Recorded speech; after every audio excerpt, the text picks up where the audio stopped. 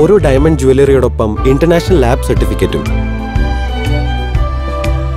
നിങ്ങളുടെ ഹീറോവിന് വജ്രം കണ്ണടച്ച് വാങ്ങിക്കോളൂ.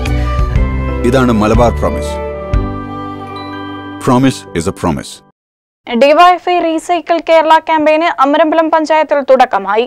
കോവിഡ് പ്രതിസന്ധിയെ അതിജീവിക്കുന്നതിനു വേണ്ടി മുഖ്യമന്ത്രിയുടെ ദുരിതാശ്വാസ നിധിയിലേക്ക് ഫണ്ട് സമാഹരിക്കുന്നതിന്റെ ഭാഗമായി സംസ്ഥാന കമ്മിറ്റി ഏറ്റെടുത്തിട്ടുള്ള റീസൈക്കിൾ കേരള ക്യാമ്പയിനാണ് ഡിവൈഎഫ്ഐ അമരമുല മേഖലാ കമ്മിറ്റി തുടക്കം കുറിച്ചത്.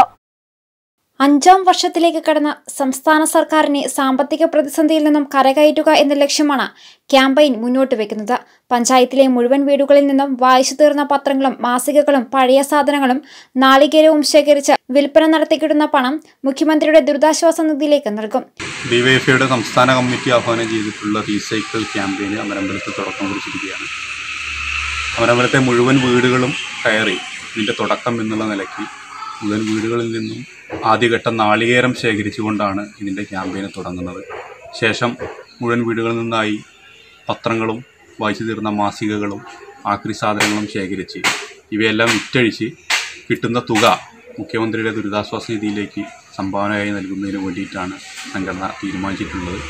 ഭാരവാഹികൾ കവളാമുക്കട്ടയിൽ വെച്ച് നടന്ന മേഖലാതല നാളികേര ശേഖരണ ഉദ്ഘാടനം യുവ സംവിധായകൻ ഷഹദ് നിലമ്പൂരിൽ നിന്നും ഡിവൈഎഫ്ഐ അമരമ്പലം മേഖലാ സെക്രട്ടറി സുജീഷ് മഞ്ഞളാരി ഏറ്റുവാങ്ങി. മേഖലാ പ്രസിഡന്റ് അനീഷ് പാറക്കാപ്പാടം എക്സിക്യൂട്ടീവ് അംഗങ്ങളായ അർജുൻ വെള്ളോലി അനീഷ് കവള പി അയ്യൂബ് എന്നിവർ പങ്കെടുത്തു. News bureau പുകോട്ടുംപാടം